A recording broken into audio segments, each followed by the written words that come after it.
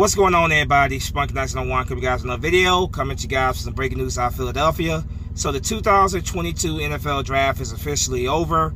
On day three, the final day of the 2022 Draft, the Eagles made two selections um, with the 181st pick of the 2022 NFL Draft. The Eagles selected Kyron Johnson, linebacker from Kansas, with the 198th pick of the 2022 NFL Draft. The Philadelphia Eagles selected Grant Calcaterra, who is a tight end from SMU. Just a little bit of um, information on both of these players. Um, Kyron Johnson is the second linebacker the Eagles took in this draft. Of course, yesterday, Eagles selected um, linebacker Nakobe Grant from, excuse me, Nakobe Dean from Georgia. So they drafting Kyron Johnson today, and um, you know, just another piece to bring in to add, you know, to add with um, Dean you know, uh, Kyron Johnson has a chance to possibly win a starter spot because linebackers, we all know, has been one of our weakness, you know, biggest weaknesses on defense. So, you know, he has a chance to come in and, if not necessarily earn a starting job, definitely earn special, um, you know, um, some playing time. And, you know, um, not just on defense, but also on special teams. Of course, you guys know the way we run defense is a rotational hybrid um, defense that we run so Kyron Johnson definitely has an opportunity to come in here and um and, and, and you know and possibly earn a starter spot right away. A little bit of information on Kyron Johnson. Like I said, he is um he played his college football at at, Kansas.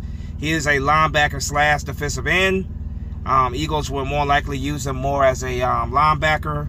You know, I, you know, I could see him possibly be using the edge from time to time, but he is six foot one, 230, 223 pounds. Um, so kind of, kind of on the small side at the linebacker position, but you know, he spent five seasons at the University of Kansas from 2017 to 2021.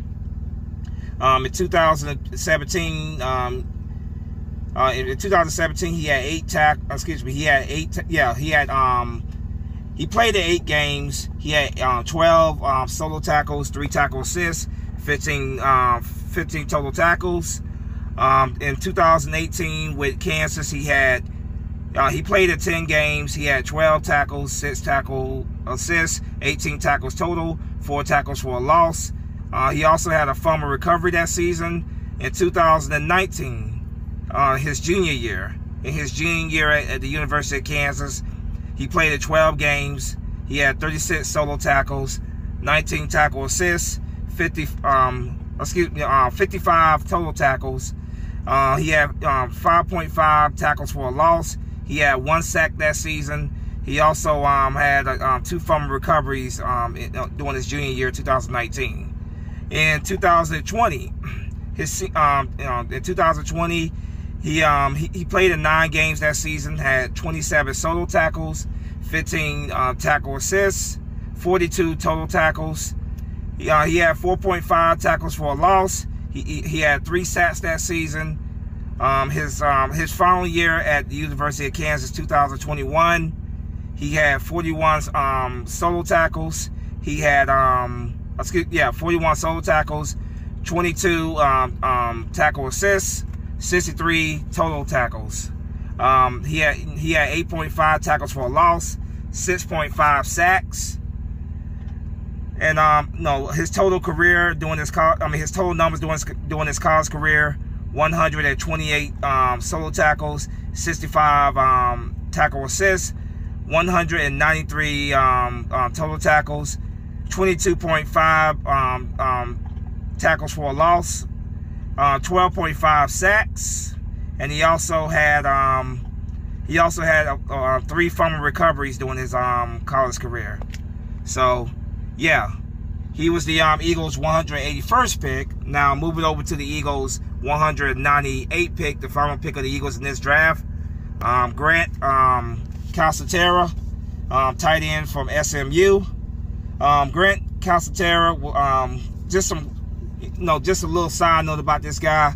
This guy at one point quit playing football and decided to come back and play football um, later on.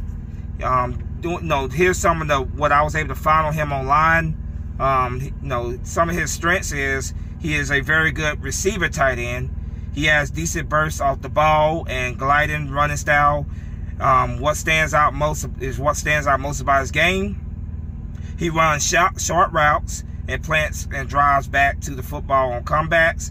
He has he has very good hands, just enough speed to stretch it vertically. He um he one trick pony type, but this but his specialty is of course how tight ends are being used in the NFL today. Now the weaknesses on um um, um this on uh, Calcaterra is he's not very advanced or a uh, effective blocker. He has the athleticism to be an adequate block in his space, but he has a long way to go. Stiffness appears after the catch, and he's not he's not a contested catch type. Older prospects who caught passes from Baker Mayfield while in um, at Oklahoma. So this guy, um, this guy played with Baker Mayfield at the, you know when he was at Oklahoma. So yeah, that was the Eagles' final pick there. I see him coming in being more of a depth piece, possible, no, possibly depth piece, you know, but chances are he will be a um, a training camp body. That's that's mostly what I see um, Calcaterra being. Now, like I said, Kyron, I definitely do think Kyron has a good chance to come in and possibly earn a starting spot because linebacker, as we all know, is definitely one of those positions that is a weakness for us. If he doesn't earn a starting spot, I definitely do think Kyron Johnson has the potential to definitely um, get some playing time his rookie year. So, yeah, there you have it. Eagles uh, on the final day, day three, the final day of the, of the draft, they drafted Kyron Johnson, um, linebacker from Kansas. He comes in, um, the second linebacker the Eagles took in this draft after Nakobe Dean, of course, from Georgia. And the final pick, Grant Calcaterra, tight end from SMU. Like I said, I see him being more of a um, camp body, you know, possibly special teams um, piece for the Eagles in this draft. So, um, yeah. Uh, final draft, of course, first round, Eagles drafted Jordan Davis from the University of Georgia. Course, they made a trade and uh, brought in AJ Brown. Um, traded, you know, traded for AJ Brown with the Tennessee Titans, signing him to a um, to a uh, massive contract um, worth 100 million, four-year contract, 57 million guaranteed, uh, 25 million a season. Then they, of course, um, later on in this draft, the Eagles uh, drafted um, Nakobe Dean. They, you know, they drafted Nakobe Dean in the, in the in the in the third round. Then, of course, um, Kyron Johnson was drafted here, and then the last pick was Greg Calcaterra. Overall, I can't complain about the Eagles draft. I thought the Eagles draft was a pretty solid draft. On paper, it looks, you know, it definitely looks like a very solid draft. Um, of course, ultimately, we'll see what happens on the field whether or not this is a good draft for the Eagles. We'll see what happens on the field during the fall. So there you have it. 2022 NFL Draft is is officially wrapped up. Is over. Looking forward to this season, seeing what the 2022 Eagles will look like. Um, Eagles still got holes they have to address. Um, secondary was one of my biggest disappointments. I feel like we should have drafted at least one corner. I think the Eagles were definitely going to draft a corner, but I think uh, with the 154 um, pick, the Seattle Seahawks moved ahead. No, the Seattle Seahawks picked the player they wanted, so the Eagles traded back because of that. But uh, corner is definitely a position that we need to address still. Possibly sign somebody on a cheaper free agency. Um, safety is also a position that is, is definitely a question mark for us as well. That that is definitely a position that you know I wouldn't be surprised if the Eagles address in free agency as well. So we'll see what happens. You know, uh, in the next up and coming days, of course, a lot of these undrafted free agents will be signed, and of course, when they start signing undrafted free agents, of course, I will make videos on those as well.